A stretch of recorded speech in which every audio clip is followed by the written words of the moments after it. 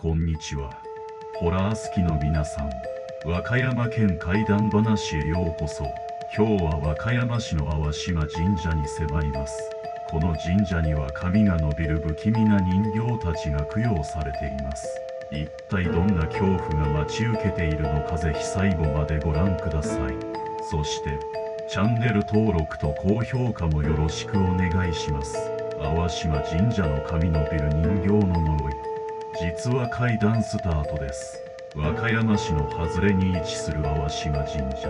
江戸時代から続くこの神社は、ひっそりとした佇まいの中に不気味な魅力を放っている。大きな鳥居をくぐると、参道の両側には無数の人形が並び、まるで生きているかのようにこちらを見つめている。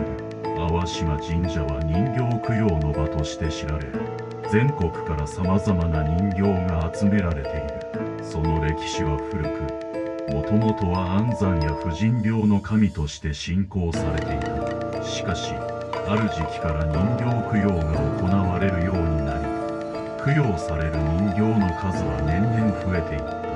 中には、不吉な噂が絶えない人形も多く含まれている。神社に供養された人形たちは、つ一つが異様な存在感を放っている。陶器製のもの、木製のもの、さらには布で作られたものまで、種類は様々だが、どれも一様に無表情で、魂を宿しているかのようだ。神社に近づくと、冷たい風が吹き抜け、まるで誰かが背後に立っているような感覚がする。鳥居をくぐる瞬間、耳元でかすかなささやき声が聞こえた気がして、訪れる者の心に不安を植え付ける。ジャーナリストの田中香織は、淡島神社で行われる人形供養の儀式を取材するために訪れた。都会の喧騒から離れたこの場所には、独特の静けさと冷たさが漂っていた。香織は、神社の管理人であり、地元でも有名な老人、山田徳次郎に話を聞くことにした。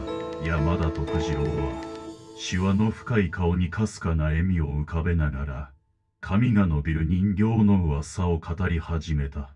あの人形は特別だ。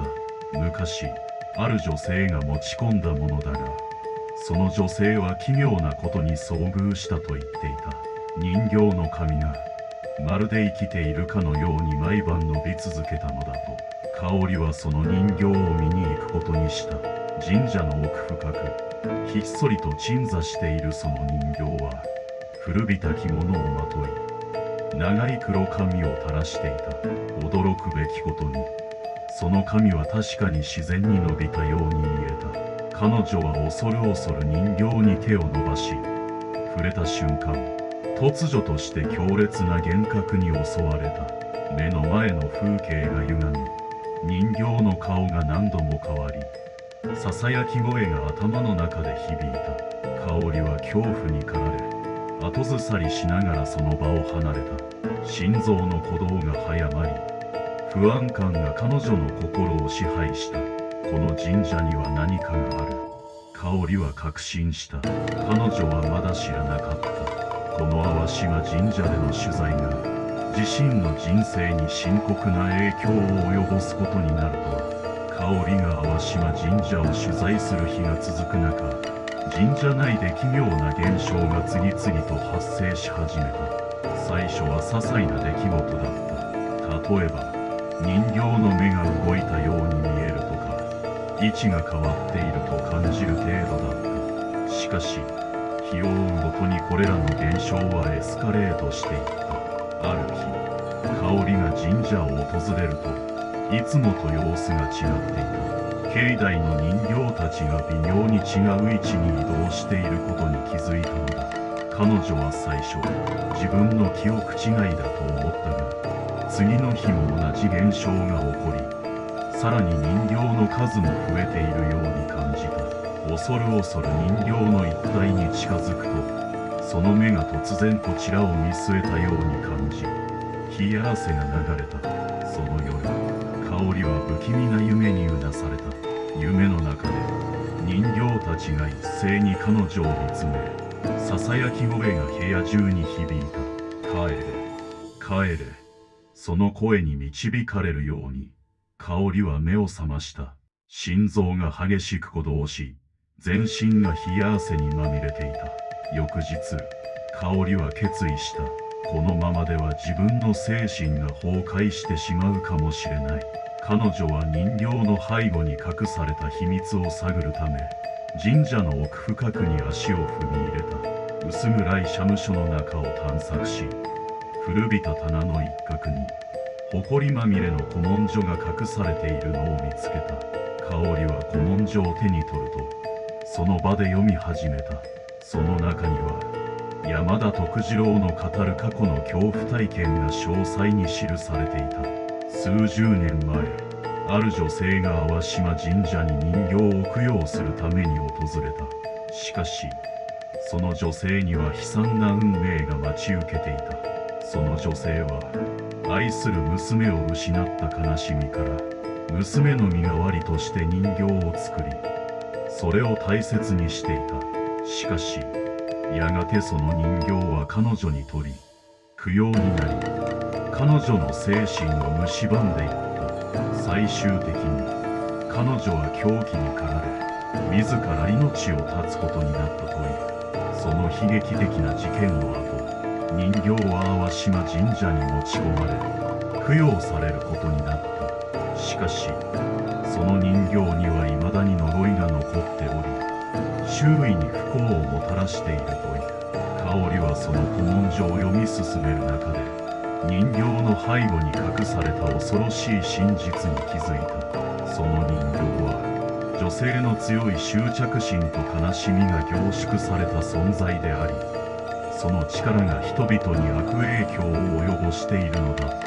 古文書にはさらに、呪いを解く方法も記されていた。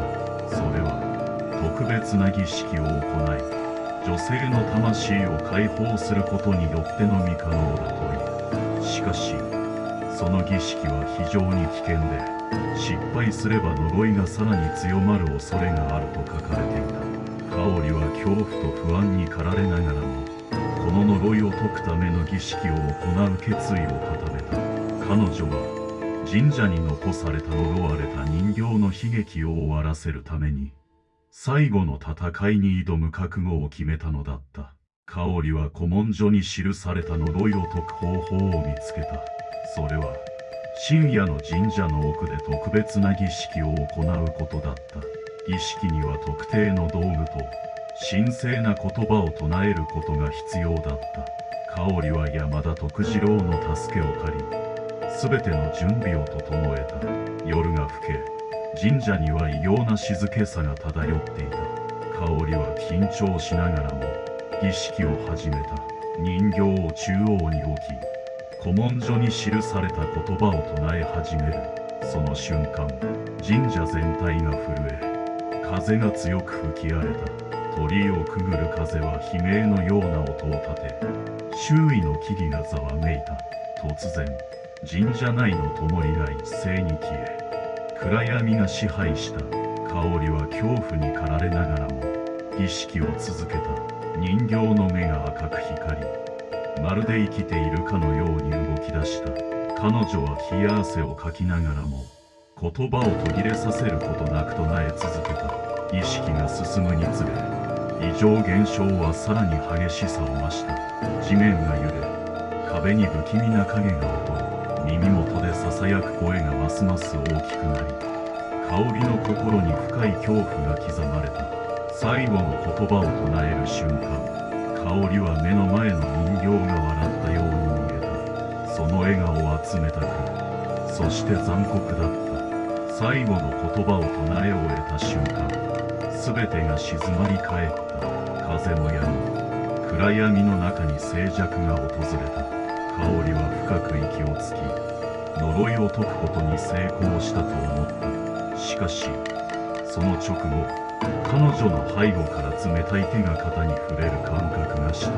香りは恐る恐る振り返ったが、そこには誰もいなかった。だが、彼女は確かに感じた。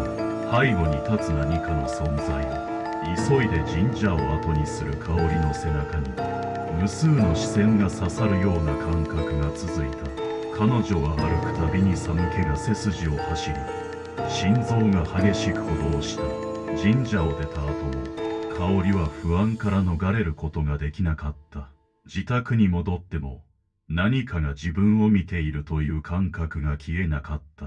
彼女は疲れ切って眠りに落ちたが夢の中でもあの人形たちが彼女を見つめていた。次の日。香織は再び神社を訪れる決意を固めた。呪いが本当に解けたのか確かめるためだ。しかし神社に到着するとそこには昨日の儀式の痕跡が全くなかった。まるで何事もなかったかのように静まり返っていた。香織は混乱しながらも神社を後にした。帰り道ふとした瞬間に彼女は感じた。再び背後に立つ冷たい視線を。振り返っても誰もいない。しかしその視線は確かに彼女を追っていた。その日以来香りは常に何かに見られている感覚と共に生きることになった。呪いを解くことはできたかもしれないがその影響から完全に逃れることはできなかったのだ。香りの背後には常にあの冷たい人形たちの視線がつきまとっていた今日の動画はいかがでしたか淡島神社の不気味な魅力を楽しんでいただけたなら嬉しいです。また次回もゾッとするようなホラー体験をお届けしますのでぜひチャンネル登録をしてお待ちください。それでは皆さんおやすみなさい。いい悪夢を。